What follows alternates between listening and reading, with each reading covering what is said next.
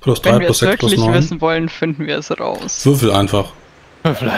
Hat irgendjemand die Werte für. Für obwohl, nee, warte mal. Ja, ich kann jetzt sagen, wo die stehen, nämlich genau da, wo auch steht, ob es plus 6 oder plus 7 ist. Plus 6 ist korrekt, Seite 8. Wow. Gruppenspiel geht auf Fingerfertig, Kon- Konstitution, Körperkraft. Nee, nee, du musst dann in Okay. deine Mirakelprobe schmeißen, nicht die, nicht die Dingensprobe. Ja, ja, habe ich. Elf Punkte. Was kriege ich dann an? Warte mal, waren das nicht Äh, halbe. Halbe LKP-Stern. halbe LK? Plus, Plus nee, plus, ga- plus gar plus nichts. 5. Ach, Nee, nee, was- plus 5 Doch, ist für plus fünf. Miracle Plus. Ja, ja, du hast Nee. recht, genau. Nee, nee, warte. Nein, nee, nein, nein, nein, du hast ja schon Miracle die Erschwernis. gibt, Du hast schon die LKP Erschwernis ganze. genommen. Ah, okay, warte mal. Du hast schon die Erschwernis genommen, der Rest ist gleich. BKP plus Warte, ja, 2 ja, der plus Rest ist 3 gleich? Mhm. Oh, ich habe zu lange keinen Geweihten mehr gespielt, ey, fuck off. So, Fingerfertigkeit und wie geht es dann weiter, Abelmir? Äh, Fingerfertig, Konstitution, Körperkraft. Ja, boom, dann habe ich volle elf Punkte über Rafim, noch nie in seinem Leben geschmiedet. Aber Okay, das Muskeln aber jetzt auch gerade ein bisschen zu peinlich zuzugeben, dass er keine Ahnung hat. Betet verzweifelt einmal zu Chor, greift in die heiße Schmiede, verbrennt sich die Hand und zimmert dann einen überraschend guten Lattenrost. Okay, währenddessen, denn das dauert ja ein bisschen. So, Menarion nimmt sich irgendwie eine Eisenstange, darum steht vermutlich irgendwie in Wahrheit ist irgendein Werkzeug, mit dem die Kohle geschürt wird oder so. Naja, pass auf, du nimmst es einfach. Und dann, und dann biegt er daraus ein 1A Rost zu haben, denn er kann den Metamorpho-Felsen formen.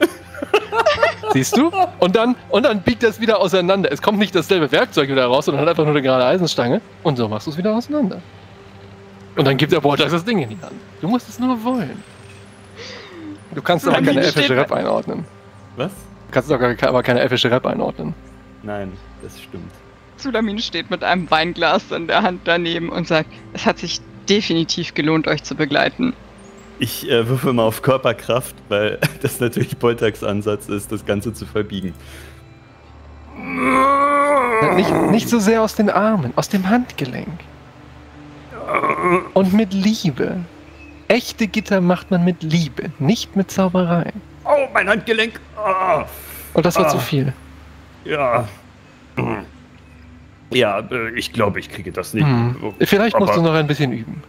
Wie viel Zeit hast Ja. Bis morgen früh. Oh, ich hätte jetzt gesagt, wenn du zehn Jahre Zeit hast, kriegst du es hin. Nein, Mann, Ja, wir müssen jetzt noch das Bier brauen, Mann. Ja, das kommt als nächstes, das ist richtig. Ähm, Aber uiuiui. Rafim hat sehr gute Fortschritte gemacht. Schaut mal. Ja, aber mir reicht mir mal das andere Hämmerdings da. Ich Den weiß nicht, das sieht so gewalttätig aus. Immer Dings da der Hammer. Es ist Rafim Mendarion, das ist ganz normal. Ich bin beeindruckt, Rafim. Ich wusste nicht, dass du so ein guter Schmied bist.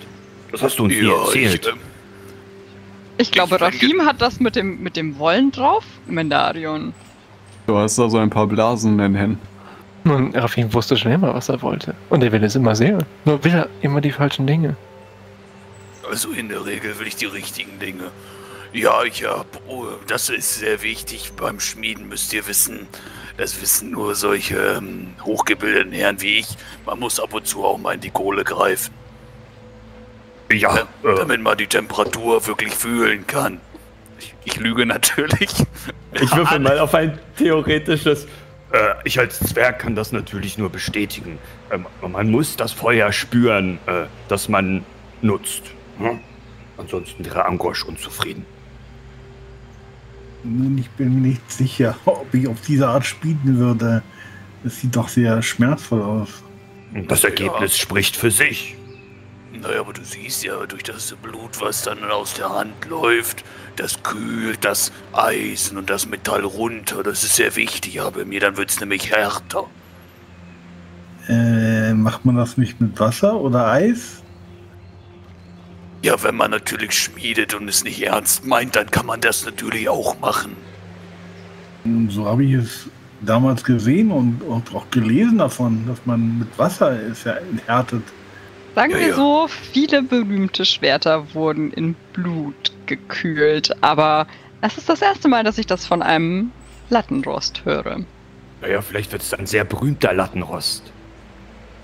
Ja, vielleicht äh, wird Angros Schminja den mal in die Schlacht führen. Und wir können den Lattenrost auch ins Bier tunken, Mann. Äh, gut, dass wir gerade zum Bier kommen, denn das wäre nun der nächste Schritt. Ähm, dafür habe ich Serpentilio gebeten, in seinem ähm, Chemielabor ähm, ein paar Kübel und ähm, eine Brauvorrichtung bereitzustellen. Wir können einmal zu ihm gehen. Ähm, er ist sicherlich mittlerweile dabei, alles vorbereitet zu haben. Äh, ich habe hier den entsprechenden Hopfen und ähm, alle anderen Zutaten sind bei Serpentilio. Ähm, kommt, kommt, das wird sicherlich lustig. Aus dem Alchemielabor quillt unheilvoller Nebel und es stinkt bestialisch nach Schwefel. Und wenn du irgendwie die Tür öffnest, dreht Serpentilio sich um und hinter ihm ist eine riesige Rauchsäule in einem Pentagramm, in der garantiert kein Dämon drin ist. Und er, er versteckt irgendwas hinter dem Rücken. Ah, äh, Voltax, äh, jetzt gerade ist schlecht. Äh, Jetzt gerade müssen wir aber das Ehebräu brauen. Das, Äh, das- ist äh, nicht, nicht so gut. Das ist äh, jetzt aber Zeit. Könnt ihr in einer, einer schaut über die Schulter, zwei Stunden wiederkommen? Also gut, eigentlich dann- haben wir einen straffen Zeitplan. Ja, wir können das Binden des Stammbuchs aber auch hervorschieben. Dann hätte Serpentilio etwa eine halbe, dreiviertel Stunde Zeit, um hier für Ordnung zu sorgen. Serpentilio. Aber Boltax, das Bier, das braucht Ah, ja das die stimmt Zeit. auch. Das Naja, stimmt, aber das wollt ihr, da, stimmt. wollt ihr, dass es nach Schwefel schmeckt? Nein, das, äh, das kann niemand wollen. Wobei. hm, Schwefel? ein bisschen, ein Bisschen Erde sollte schon drin sein, habe ich gehört. Schwefelbräu? Ich Mm, fürchte, mm. es ist keine Erde, aber Nein, besser nicht. Ähm, nichtsdestotrotz, dann äh, fangen wir mit dem äh, Binden des Stammbuches an und äh, kommen dann in einem halben Stundenglas noch einmal hierher. Serpentilio, bis dahin, ich verlasse mich auf dich, hast du Ordnung Oh, geschafft. bestimmt. Ich mache nur das Fenster ein wenig auf und dann wird alles. Wenn ihr, wenn irgendwie die Tür wieder zu ist, hört ihr noch, wie er leise hinflucht. Jetzt geh endlich in die Flasche, verdammte! Naja, Boltax, also jetzt binden wir ja das Stammbuch, richtig? Genau. Aber ich finde, aber mir sollte das dabei auch vorlesen, oder nicht? Sonst wissen wir ja gar nicht, von wem wir da alles sprechen. Oh ja, das ist eine sehr gu- Moment. Das würde vermutlich die halbe Stunde deutlich äh, sprengen. Ja, Ähm. aber vielleicht könnten wir ja nur die letzten 20, 25 Generationen zurückgehen, dass wir ein aktuelles Bild haben. Das ist eine hervorragende Idee. Äh, zumindest brautseitig. Ähm, meine Vorfahren kennt ihr ja alle. Ihr erinnert euch sicherlich noch an die Geschichte mit der Armbrust. Was ich euch nicht erzählt habe, war, dass es mein Ur-Ur-Ur-Ur-Urgroßvater war, der die Armbrust erfunden hat. doch, Und, ich äh, glaube, so- das hast du erwähnt. Ja, habe ich erwähnt. Äh, Deshalb brauchen wir da auch nicht auf den neuesten Stand zu kommen. Aber hier äh, bei Angroschminia wäre das natürlich schon von Vorteil. Äh, aber mir, äh, das sind die entsprechenden Seiten. Du kannst ja schon mal anfangen vorzulesen und die anderen hängen dir bestimmt gebannt an den Lippen. Sind die quasi schon rumgeschrieben? Ja, sie sind äh, in Dann habe ich keine Chance, die Dinger zu lesen. Hast du keinen Zauber für sowas? ja, aber nicht für den Quatsch. Äh, Hallo? Ich, ich kann diese Runde nicht, nicht lesen. Naja, Was? du kannst sonst immer jeden Quatsch lesen. Warum kannst du das denn jetzt nie lesen? Wenn es dann unbedingt sein muss. Naja, es muss unbedingt sein. Gib, gib mir eine Sekunde. Ich mir vorbereiten. Lass mir dem Xenographus Zeit. Ich bin recht für so einen Quatsch, also. 19 Punkte für sowas. Zauber. Ja. ja. Ja, was, was sehe ich denn da? Was sehe ich denn? Du, du liest eine ganze Menge an Namen und Verwandtschaftsbeziehungen vor, dass sie die Tochter von ihm, der der Sohn von ihm, der die Tochter und so weiter von ihm Und wahrscheinlich auch, ihr was sie gemacht haben in ihrer, ihrer Genau. Stammsippe irgendwie. Ja, das ist das Clanbuch, ne? Da sind dann irgendwie Cousins, Cousinen fünften Grades noch mit drin, die alle irgendwie Ja. Schmiede waren. Und wer, wer, mit- wer mit wem im Streit lag, also das Buch Das nee, das ist das natürlich- Buch des Grolls, das ist nicht dabei, nee, nee. Das steht natürlich nicht da drin. Also nur, was sie waren und von wann bis wann sie gelebt haben und wie sie in verwandtschaftlicher Beziehung zueinander stehen. Also in ihrer Nachbargeneration gibt's noch 200 Zwerge. Ja, Und dann, also das ist halt nur Cousins und Cousinen, ne? die haben alle untereinander geheiratet. Ich verstehe. nee, das steht da nicht drin. Ja, es dauert eine Weile und die Namen sind natürlich etwas, etwas zungenbrecherisch wahrscheinlich, aber äh, ich probiere mein Bestes irgendwie. Nach dem 20. Zwergennamen hast du es drin. Oh, äh, Abelmir, das kriegst du ja richtig gut hin. Äh, das ist ja wunderbar. Vielleicht sollte ich dann doch nicht morgen selbst die äh, Anwesenden verlesen, die nicht konnten, sondern es dir überlassen. Äh, nein, nein, nein, danke, nein, danke. Diese Namen sind doch etwas. Äh, habt, ihr, habt ihr noch etwas von dem Wein? Ja, hier bitte. Aber natürlich. Ach, viel besser. Sie rollen so schwer im Hals, diese Namen. Und, Und sie ähm, die werden morgen alle noch einmal verlesen, ja? Ich fürchte Ja, ja. Ja, aber dann, also- sind wir, dann haben wir ja voll den Vorteil, weil wir sie ja schon mal gehört haben. Richtig, da könnt ihr zuordnen, wer das jetzt genau ist. Ihr, ihr habt einen Wissensvorsprung gewissermaßen. Äh, äh, habt ihr auch einen Stammbaum gezeichnet, wie das gehört? Äh, das gehört zu dieser Übung mit dazu, das kommt am Ende. Äh, Ah. Und du siehst, dass Boltax, wer du vorliest, schon dabei ist, einen Stammbaum zu zeichnen. Hier kommt einmal ein Zeichnen. Wurf. Der sieht sogar ganz okay aus. So, und hier noch eine Verästelung und das wäre dann mein Bruder und damit wäre er vollbracht. Oh. Nicht wahr? Sieht jetzt nicht so nach einem Baum aus, äh, wie ich gedacht hätte, aber Wahrscheinlich ja, sollte eine Steineiche vermutlich so knorrig wie sie ist. ja, ja, äh, Sieht eher aus wie so ein riesiges Pilzgeflecht.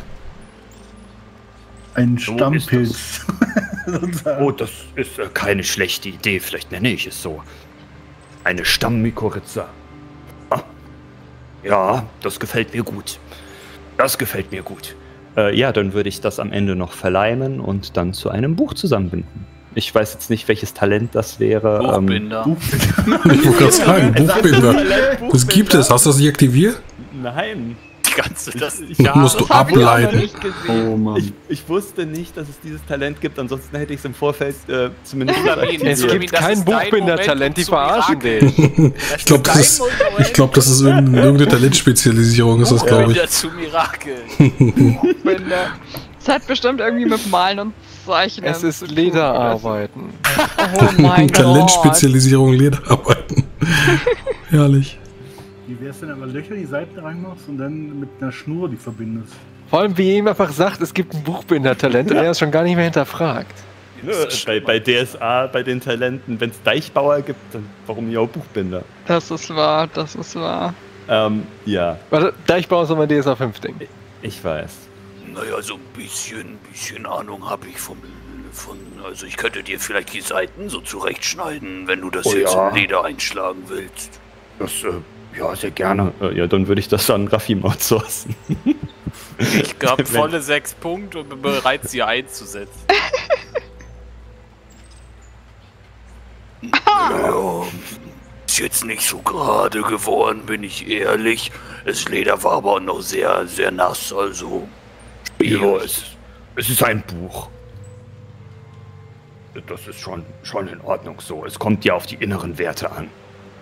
Und dass Ja, die denke nicht rausfallen. Oh, gut, gut. Dann äh, sind wir jetzt alle auf einem Stand der Dinge. Wir wissen jetzt äh, über die Familie der Braut Bescheid. Dann können wir jetzt runtergehen. Äh, ich denke, Serpentilo dürfte mittlerweile mit seinen kleinen ähm, Problemchen da unten äh, fertig sein und äh, wir können mit dem Ansetzen des Ehebräus beginnen.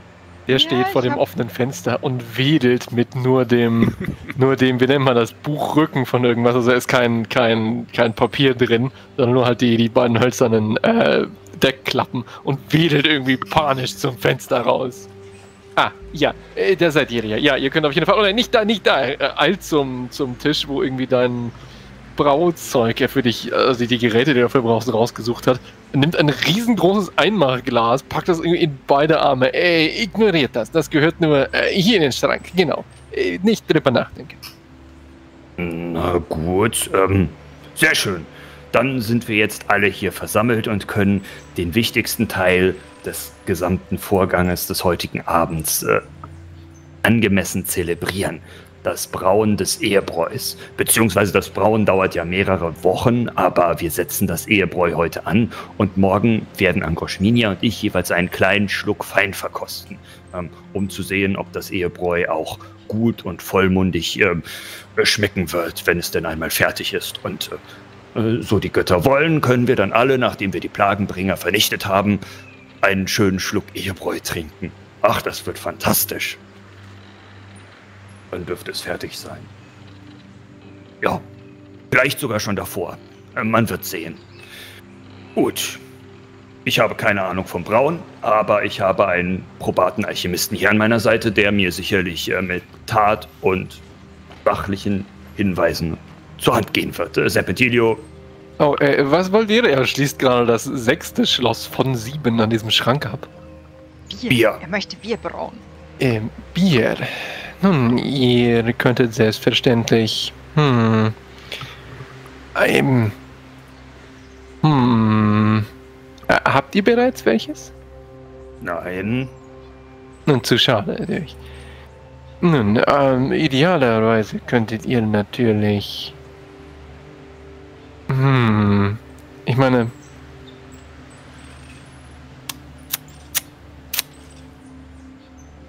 Ihr wisst nicht, wie man Bier braut. Er hat das hier mitgebracht. Ich halte ihm eine Hopfendolde unter die Nase. Ah, natürlich. Nun, äh, ihr seid doch ein Elementarist. Warum beschwert ihr nicht einfach welches?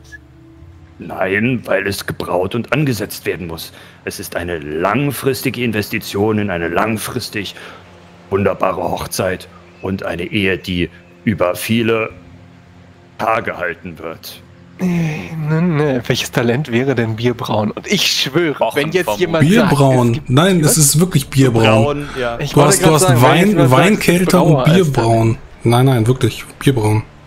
Ich möchte Rafim, das Rafim un Kann ich- blöden Einsatz bringen, warte. Also, Kann der Ventilio ist jetzt kurz davor, diesen Hopfen irgendwie zu Ja, zermahlen. zu Reiher lasse destillieren. ich. Das Bierbrauen Reiher Tempel lasse ich zu. Aber ein sehr, sehr andergaster Breyer-Talent, meinst du nicht? Echte Reihergeweihte nehmen Schnapsbrennen. Schnapsbrennen kann ich im Übrigen.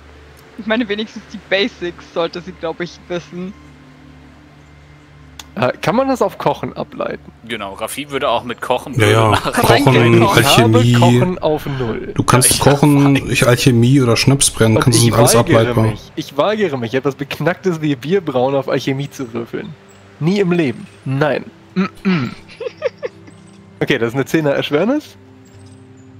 Denn nahrungsgefährliches Wissen habe ich nicht. Äh, der Improvisation habe ich nicht. Hauswirtschaft ableiten eventuell? Ah, Ich habe Kochen nicht mal eingetragen.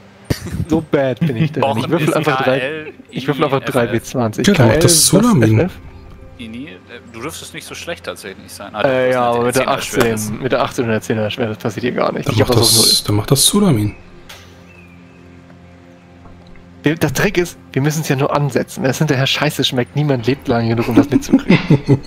Ja, Solomon zieht sich das ganze, ganze Elend an und meint dann, Bier ist eines der ältesten Getränke der Mensch und vermutlich auch Zwergenheit. Ihr werdet doch wohl die Grundzutaten kennen. Nun, eine der ältesten Anwendungen der Magie, die die Menschheit kennt, ist die Blutsaugerei. Trotzdem halte ich mich dafür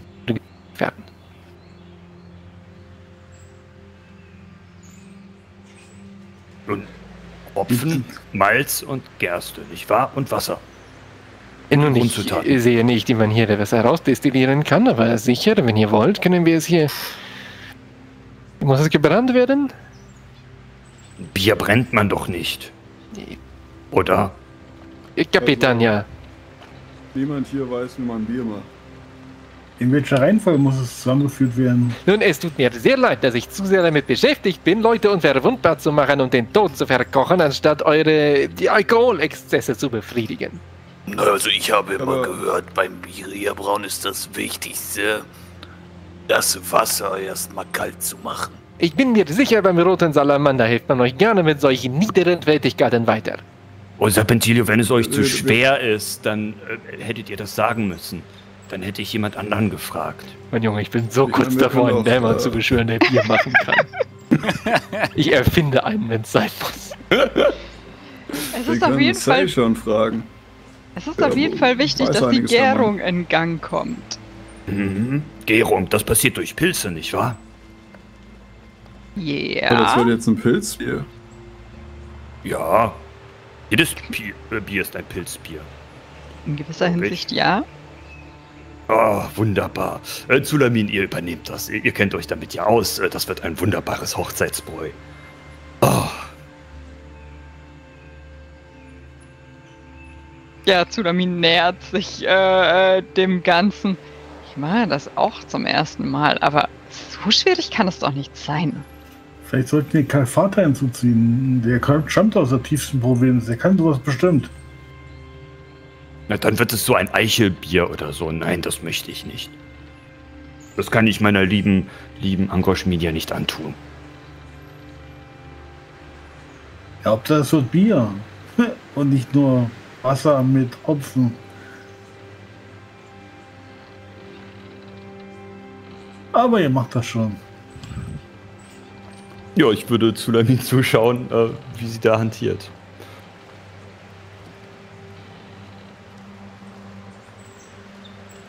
Ja, da kannst du das auch äh, mirakeln, hast du ja schon getan. 20, ne, 18 Punkte übrig.